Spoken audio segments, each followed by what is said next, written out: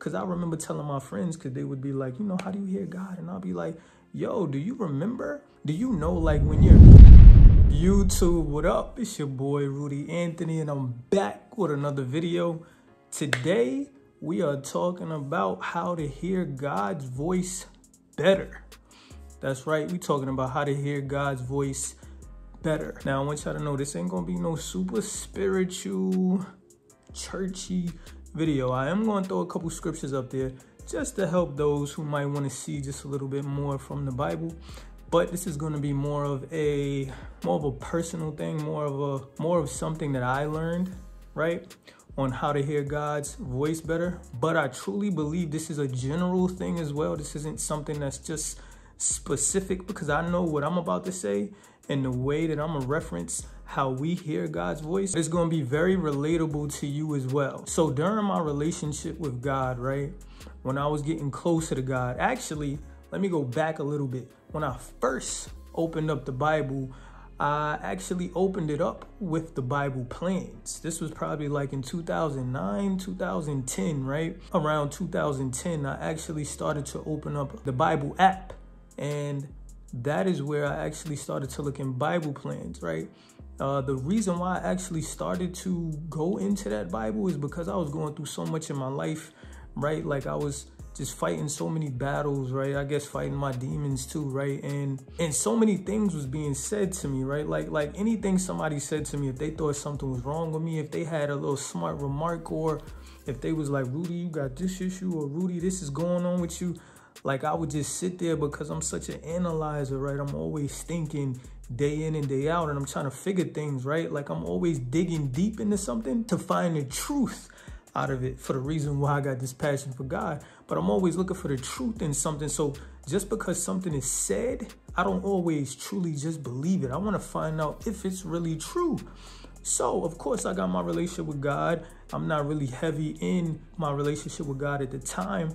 But, you know, my grandma always said she was praying for me. And at times when I would be struggling very hard, I'll be screaming out for God, like, yo, God, help me, help me get me out of this. So, you know, I'm going through a very hard time during this time. And I just, I don't, I don't even know if it came from anyone or if I seen the, the, the Bible app just in my phone in the app store one day. I can't even remember, but I think this is when the Bible app first launched around that time, like 2009, 2010, maybe before that. But I know when I was going through all of this, I would go to the Bible app and look in the Bible plans and I would research or I would look at the plans and read those plans of what was said to me like, Rudy, you have this issue. Or I would look at things about being angry or insecurity or telling lies, right? I wanted to see what God said about telling lies or something about sex or anything, right? I would go into those Bible plans and search those words and look at those specific messages in the Bible plan and it would also show me the Bible verses. So during this time, I'm learning the Bible and then uh, it's pulling me in, right? Because I'm starting to see a little bit more of, I guess, myself, but also God, right? Because He's the one who's teaching me these these certain things that I'm learning, right? So you know, the years go by, and I keep hearing God a little bit as time is going. I'm not, I'm still not this close to Him yet, right? I still don't know much, but I know just the little things that I read, right? So now I'm, I'm picking up momentum in my relationship with God, right? Me and my daughter's mom break up in 2013, and now I'm opening up the Bible. Like I'm I'm literally opening up the Bible. And my grandmother had gave me her Bible during that time. But I'm opening up the Bible. I'm starting to read it for myself. Now I'm jumping in Proverbs, right? I'm, I think that was the first book that I ever read. Proverbs. I started it off with because I knew that was the book of wisdom and I always want wisdom. Plus, it was easier to read to me. I just thought it was real easy to read. So I'm reading all of these scriptures, gaining all of this information. I'm also trying to move to different scriptures. Now I'm going to church. Now I'm in Bible study, right?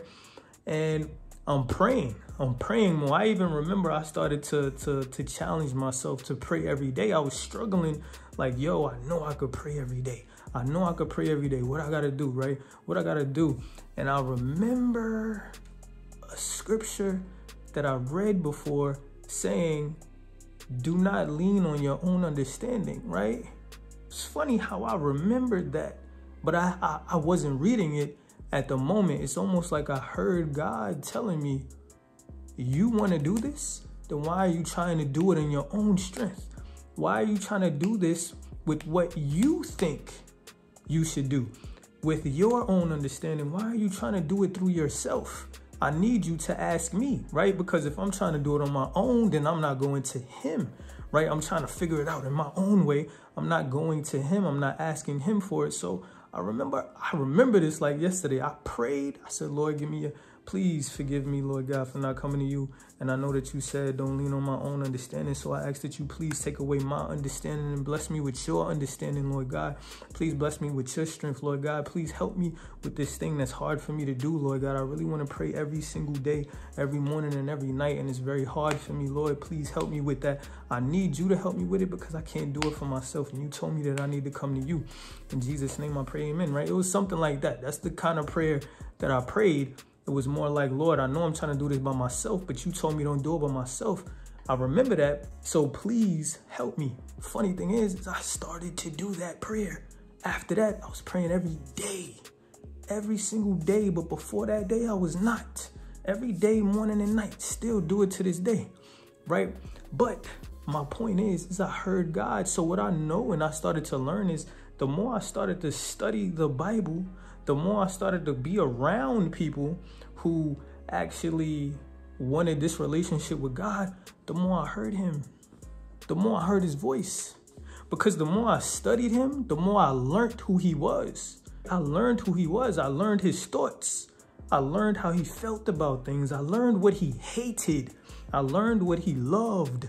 I learned what he wanted me to do. I learned what he didn't want me to do. I learned what good was to him and I learned what bad was to him. I learned what evil was and I learned what love was. I learned who he was and I also was learning who I was, right? Now I want to connect this. What I also connected to this in my life was because I remember telling my friends because they would be like, you know, how do you hear God? And I'll be like, yo, do you remember? Do you know like when you're you know someone and you know them well? Right? Like your mom and your dad, your brother, your sister, maybe even your best friend, right? You know this person. Like, let's just example, you know your mom and your dad, they don't want you being out late at night at 10 or 12. Or you know your mom and your dad don't want you dressing a certain way or don't want you spending a certain amount of money, right? So guess what? When you go to the store, you remembered and you can even hear as you're like, just imagine, and I know y'all been through this too. You be in the store and you be like, I wonder if I should get this. But you remember your mom and your dad saying,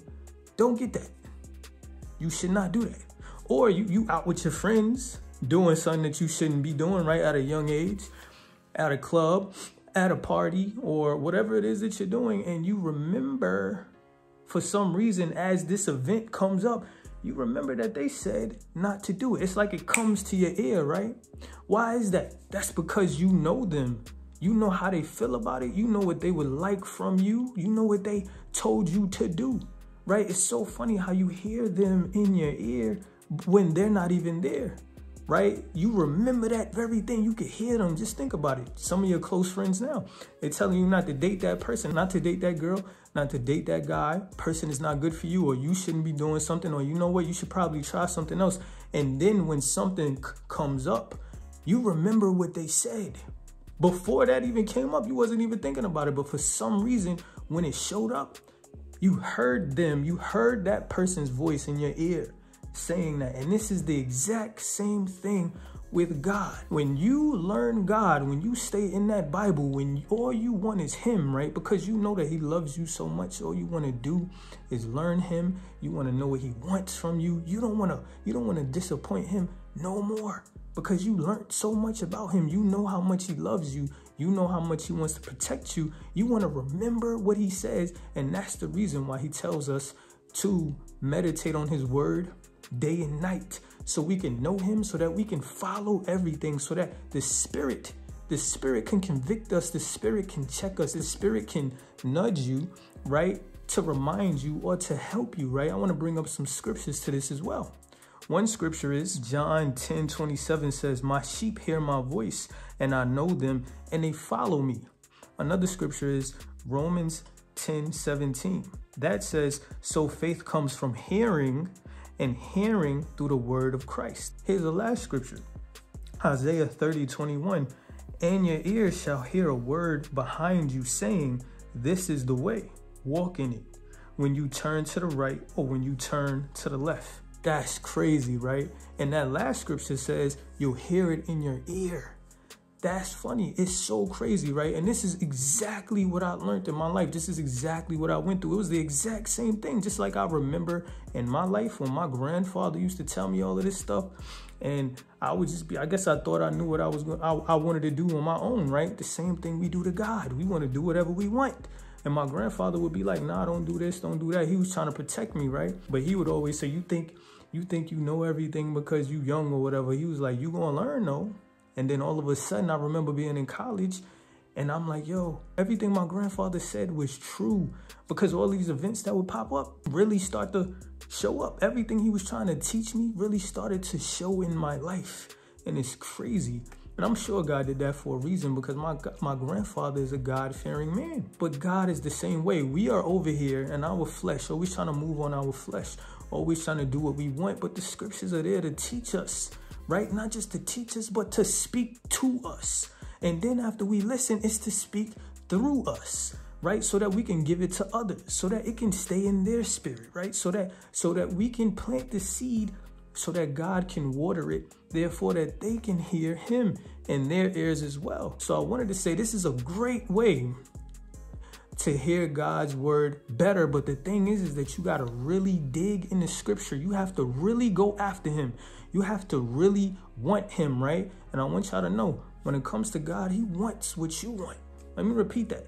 He wants what you want, and he will not move until you give it to him. If you choose your flesh, he will allow you to, right? He will nudge you, but he will allow you to make that choice. This is why we have free will.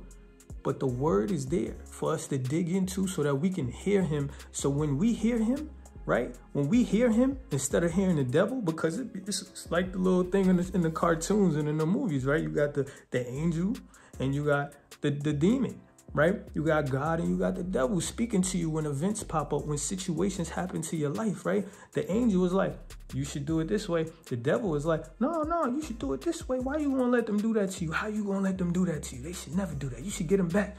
When the angel's over there, like, no, let it go, let it go. Give them love, give them grace, forgive them, right? You got two choices. You got two choices, flesh and spirit. God and the enemy, and this is how God speaks to us through the spirit, but we got to dig in the scriptures so that we can remember him, so that we can learn him, so that we can understand who he is. A lot of times, a lot of times, we don't have to be like, I'm going to pray about it. A lot of times we do, but a lot of times we don't.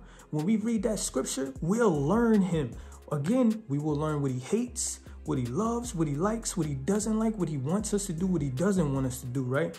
Or if we don't stay in the scripture, then our emotions, flesh, and perception of the world is going to leak out and it's going to speak to us. And we're going to move off of what the world says because that's the only knowledge we have. Jesus came to give us understanding. He came to fill us with the truth. The world lies to us, man. God wants to protect us and help us. So this right here is a great way to learn God and to hear his voice in a better way. The key is, is that you just have to learn the difference between your flesh and your spirit. Then you will understand when you hear God. You will understand when you can see things. When you can see things or signs showing up in your life, you'll you'll know the difference because the son does whatever the father does. Right? Because we hear God. We know his voice. Therefore, we know if he's saying this or if he's not. We should know if it's us or if it's him.